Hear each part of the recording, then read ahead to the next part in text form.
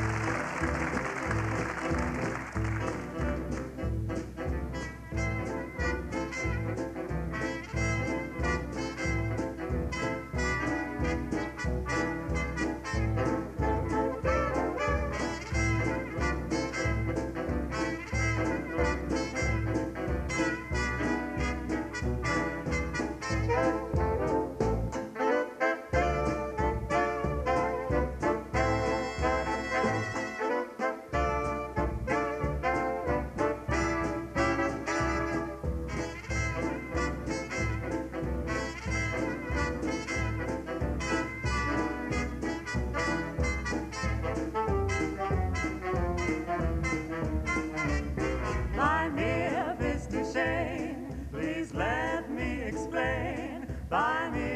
is Shame means that you're grand.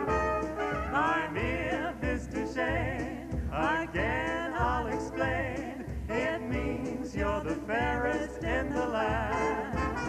I could say Bella, Bella, even say Wunderbar. Each language only helps me tell you how grand you are. I've tried to explain.